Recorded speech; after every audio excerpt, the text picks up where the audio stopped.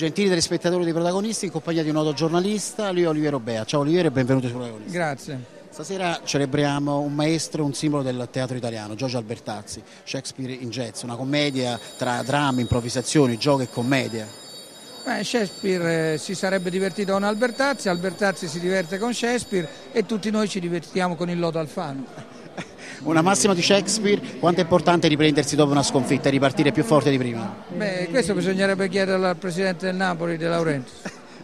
Eh, Noi che veniamo da lì ti lascio immaginare. Per quello- per quello ho detto. Senti, ti volevo dire in ultimo, l'amore che cos'è per te? È il senso della vita, ma anche il senso della vita è amore, quindi insomma è un circolo vizioso. Laddove ci- ci sia stato un abbandono di natura professionale o emotiva, la tua, la tua reazione qual è stata?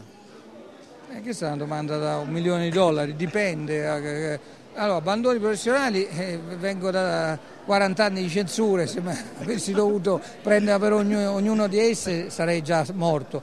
E e invece dall'altro punto di vista ringraziando Dio non è successo. Senti, guardando in camera il tuo saluto al format che siamo i protagonisti, da Oliviero Bea. mi raccomando, sti protagonisti, io vi saluto ma rimanete protagonisti, non fate i caratteristi, rimanete professionisti. Grazie Oliviero.